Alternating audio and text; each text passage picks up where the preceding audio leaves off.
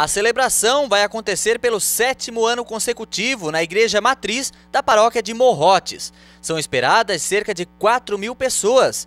Já estão confirmadas caravanas de Braço do Norte, Capivari de Baixo, Imbituba, Jaguaruna, Laguna, Sangão e São Martinho. A celebração inicia às 7h15 da noite e os devotos são convidados a levar velas e participar do encontro vestidos de branco. Antes da missa, durante toda a tarde, já haverá adoração na igreja. É um dia de reflexão.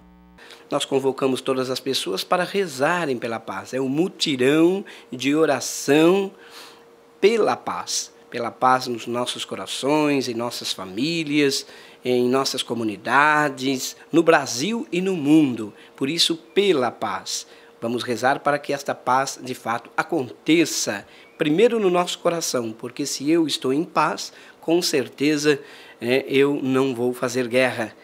Então, primeiro tem que pedir a paz aos nossos corações e, em seguida, lutar para que esta paz se estenda também ao Brasil e ao mundo.